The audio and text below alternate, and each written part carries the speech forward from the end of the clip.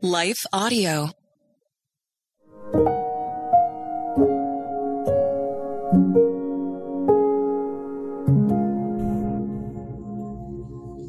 Thank you for listening to your daily prayer, a podcast dedicated to helping you find the words you need to connect with your Father in heaven. No matter what is going on in your life today, you can trust that God wants to hear from you. Right after this short word from our sponsor, we will pray through today's prayer together.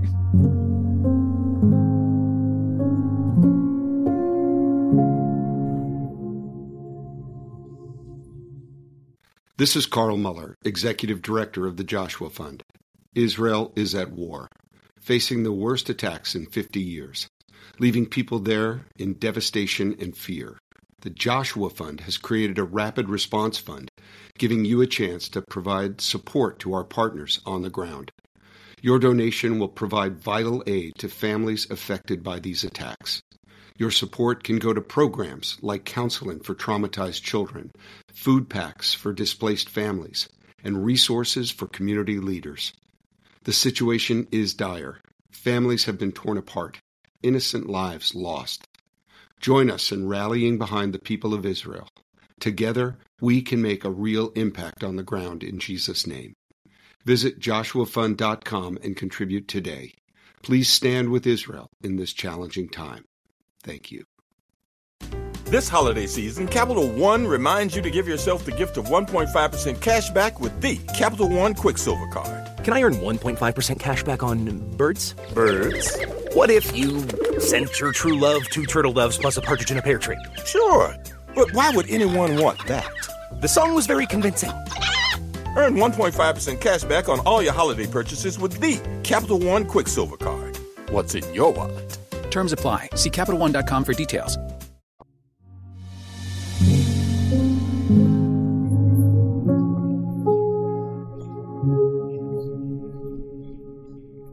A Prayer for Victory by Emma Danzey. 1 Corinthians 15, verse 57 says, But thanks be to God, He gives us the victory through our Lord Jesus Christ. Have you ever felt stuck? Have you been feeling like you cannot come out on top lately? The Lord does not want us to walk in defeat day after day. He did not come to this earth to save us so that we would continue to live in fear and frustration. However, the enemy loves to remind us daily that we are fallen, weak, and defeated. These are quite honestly lies in our heads that need to be not only taken captive to Christ, but prayed for regularly. Is the enemy telling you that you will never amount to anything? Is he reminding you of your history of past failures? Do you feel unable to move forward because of so much defeat? Today, we are going to pray boldly for the Holy Spirit to renew us and reveal victory in our lives. We do not have this by anything we can do, but because of what Jesus has already done for us. Let's pray. Jesus, you are my victory. I claim you today over every area of my life. For the places I feel confident in, thank you for giving me that confidence. For the places where I feel absolutely defeated, thank you for the future victories that I am going to have in you. I cannot do this on my own. I cannot defeat the enemy or sin. I cannot live a perfect life. This is why you have already done this for me. You say in Deuteronomy 20, verse 4, that you are the one who goes with me to fight for me against my enemies, to give me victory. You say in 1 Corinthians 10:13 that no temptation has overtaken me except which is common to mankind. And you are faithful. You will not let me be tempted beyond what I can bear. But when I am tempted, you will also provide a way out so that I can endure it.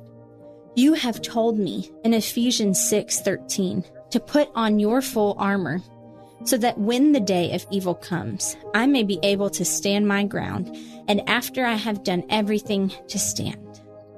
These are not just words of encouragement. These are living and active.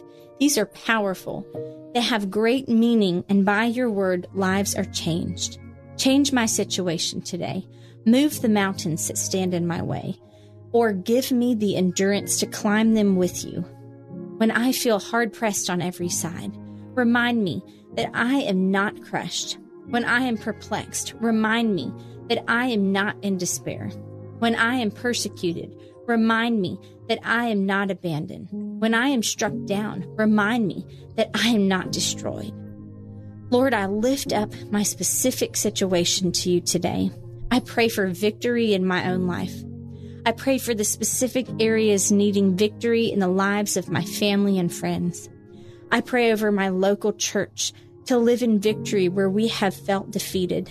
I pray for those who I love who have been in cycles of feeling conquered to know the power of Jesus in their lives and to not give up, that you can get them to new places. I pray for those in my life who have felt defeated because they are defeated and in need of Jesus as their Savior. Help their trials open their eyes to the gospel and reveal to them the confidence and peace that they can have in Christ when they put their faith in you. Help them to stop trying to win in this life on their own, but to surrender to the greater purpose of being wholly yours. Thank you in advance, God, for the way that you are going to move and change my situation. Thank you for the guaranteed victory through Jesus I already have right now. Thank you, Holy Spirit, for being in my life and for helping me to live out this victory. Amen. Your Daily Prayer is a production of Life Audio and Salem Media. If you liked what you heard today, please take a second to rate and review this podcast in your favorite podcast app so that more listeners like you can find the show. For more faith filled, inspirational podcasts, visit us at lifeaudio.com.